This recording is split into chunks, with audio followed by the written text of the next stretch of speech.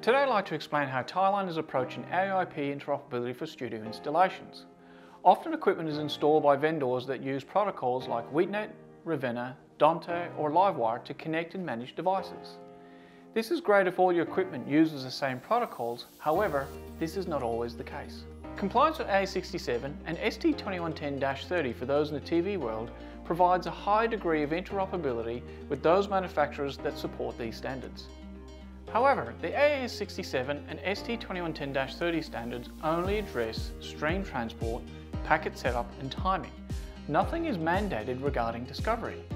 So what other solutions exist for discovery to simplify managing streams within an AoIP network? Well, let's take Tieline's Gateway Codec as an example. Gateway and Gateway 4 codec support AES67 and ST2110-30 standards straight out of the box. In addition, an optional WheatNet IP module supports stream discovery, advertisement and control using Wheatstone's Navigator software. Plus, you get a lot of WheatNet IP features like GPIOs as well. Many networks also use Ravenna for stream discovery and advertisement. Gateway and the Gateway 4 support Ravenna as well straight out of the box, which simplifies streaming over AoIP networks using the Ravenna protocol. NMOS or Network Media Open specifications are another set of standards used to manage communication between network devices.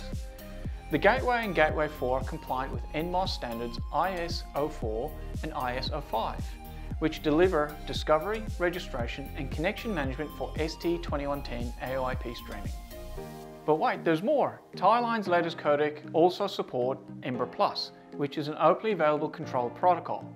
So as you can see, the Gateway platform is extremely flexible. It's AES67 and ST2110-30 compliant, plus there are several options for stream discovery, advertisement and control. In addition, all Tieline codecs support the EBU NACIP SIP interoperability standard.